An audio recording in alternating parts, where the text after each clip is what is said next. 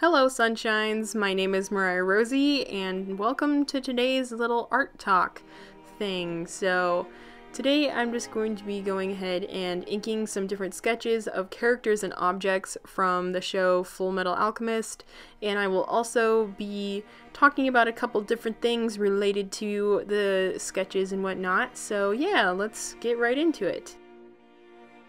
So, yeah, I am doing something a little bit unusual, and that is drawing people. So, these are actually just some head studies I decided I wanted to do. So, I have been watching Fullmetal Alchemist Brotherhood lately, and let me tell you, the show is amazing. I absolutely love it, and it's probably going to be my favorite anime and show of all time because I love it so much. But while I was watching it, I decided that it would be such a cool idea to draw these characters to study and learn from them. So I don't really know how to draw people at all.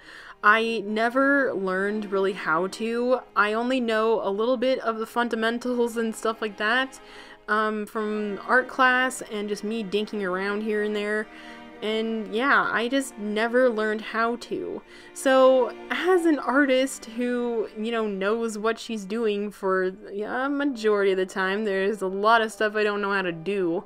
Um, not being able to draw something this big, like people, is very annoying because there are a lot of ideas I have that would be perfect for human characters. So, yeah, I want to learn this year how to draw people. It's my New Year's resolution, and I'm going to follow through with it. So, this year, the only things I have done when it comes to learning how to draw people is I've studied noses and I've also studied um, eyes. That's about it. I haven't really done anything else. So, in order for me to get more into learning how to draw people, doing something stylized and from something I love was a great way to prompt myself to get to learning. So, I kind of came up with something while I was doing this, and that is modifying the way you learn. So, everyone learns in a really different way. Um, some people learn best in classrooms from somebody else. Some other people uh, learn best when looking at someone else doing their own thing. You know, there are so many different ways you can learn. For me, I like to learn from other people, watching other people, and testing out what other people are doing. So I decided okay, I don't really like drawing um, very realistically, and that's what a lot of people and teachers will tell you to do. And I already kind of know how to draw semi realistic. Um, when it comes to people, the only things I don't really understand are hair and lips. So I was like, you know what? I just don't know how to put a face together properly. So this is a great way for me to have a good time and to also learn. And let me tell you, it actually worked splendidly. I came away from it and I decided to draw my own character and I learned a lot actually. I was like, hey, here's how you do the skull and how you put a face together and how the hair works and everything like that. And I was like, dang, like this works wonders. And you know what? It might not work for you. You might have a different way of working and stuff like that, which is great. And everyone has just some other way of learning something. This is how I learn, and definitely how I'm going to learn even more. So, I'm definitely going to sit down and just draw a lot of different characters from other people and stuff.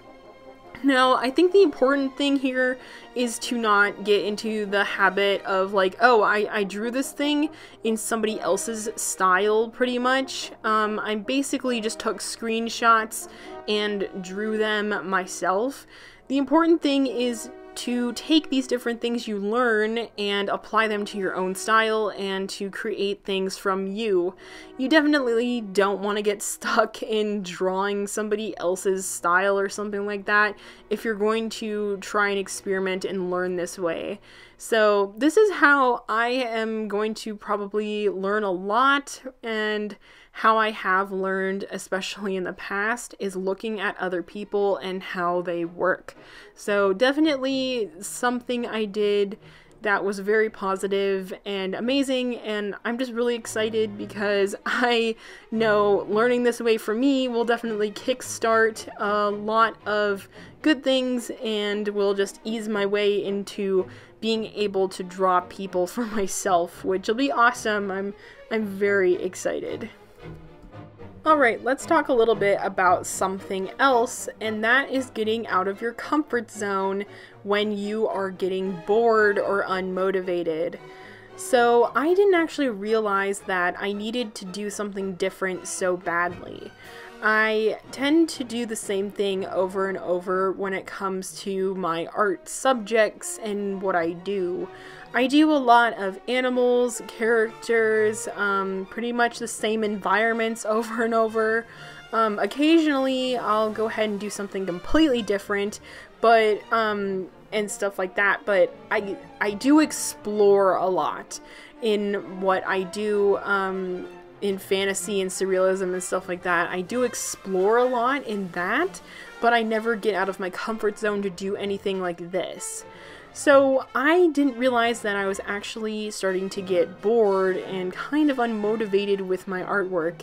And doing this entire exercise with these characters, I was like, dang, I didn't realize that I was actually like this. So I kind of got into a grind of just like, I gotta just do this artwork again, think of a new idea in the exact same field again instead of trying something completely new. Doing new things is scary a lot of the times, and you're kind of afraid that you're gonna mess up and stuff like that. But let me tell you, it's really important to learn new things, to get out there and just have fun. And once you actually start doing something different, it's not that bad, actually. It's a lot of fun and it's able to kind of broaden your horizons and your outlook on artwork and everything like that. At least that's what happened to me while doing these characters, especially. So it was so much fun to do something different, and now I'm definitely more motivated to go ahead and try new things and to create some new artwork that no one has ever seen before, or even me before. So it should be a great fun experience. So yep, I'm just about done with these sketches, and I actually, after I got this entire video done, I went back in and made everything with shadows and stuff like that, so I didn't film it. If you'd like to see that entire, you know, drawing slash sketches or whatever, make sure to visit me on my social media. Um, and make sure to go ahead and check me out on all of my shops to get some artwork for yourself. And make sure to also subscribe for more videos like this one. And if you have any suggestions for future videos, make sure to leave a comment below. I'll be seeing you guys later. Bye bye.